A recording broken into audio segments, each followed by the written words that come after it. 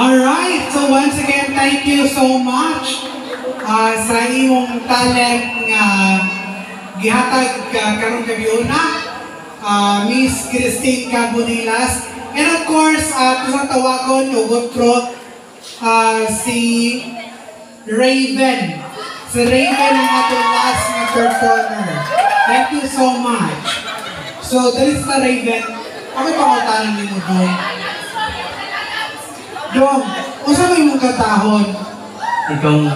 Ikaw na, kung nanong doon naman kay mungho sa ilong. Ewan niya. Ah, So ikaw na. So Raven, ah, Michael Pangilinan na ikaw na. Ay, ikaw nga. So birthday! Uy, happy birthday! Oh my God! Oh my God! Yala, happy birthday ni Raven! Ah, sige tayo. Okay, so Raven, ako rin hatag yung mga mic. Ayaw makikita ang mic ha. Thank you so much, Raven. And, Alright, thank you so much. So, okay, thank you so much mga kagalaan. So this time, tawagon na nato atong mga upcoming counselors sa palihog lang lingkod nga riya. Asa naman si Raul Manicar, Orhel o si Kuan, si Rico Buok.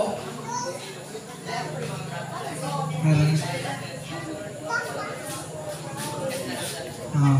So, kisa mo may kulang, ah, palihog talikod nga riya. Okay.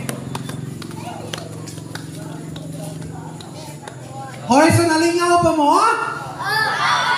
Hoy, murag hinay raman. Again, nalingaw pa mo? Thank you so much. So, mo na akong gusto, no? Mo na gusto mga audience. So, once again, atong uh, klarohon, no, ang atong mga kandidato. Mo na sila ang mga mo kandidato isip barangay konsihal dinhi sa barangay Atabay, Hilongos, Leyte. Now, this time, tagaan na sa muna mo og chance. Kamu na sa among tagaan og higayon. Kay doon naman tay katungod, no? Isip mga tarong nga mga botante, doon na tay katungod mangutana, no? Sa mga lumalangsad pagkakonsihal. So kita na sa mo balos nila, unsay ato mga pangutana.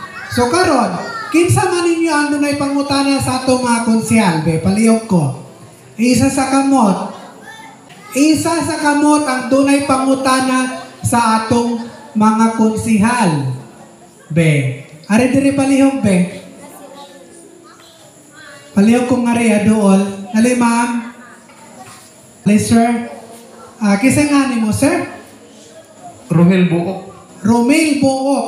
So, so Mr. Buok, ikaw ang mga utanan nino sa atong mga konsihalis, upcoming konsihalis.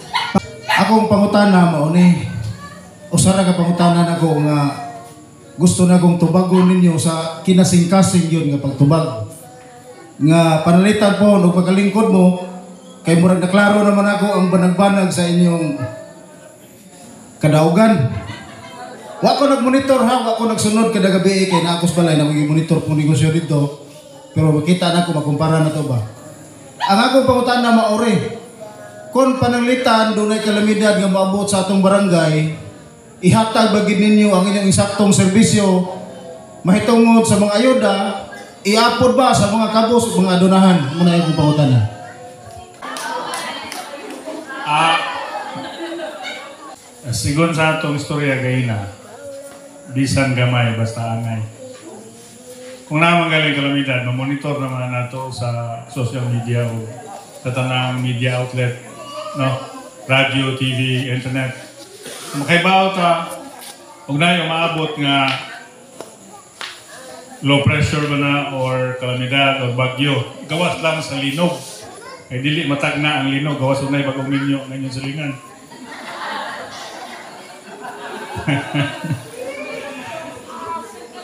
Kung naay kalamidad nga umabot, nga atong tanaw mo igo din sa atong lungsod o mo igo sa Leyte,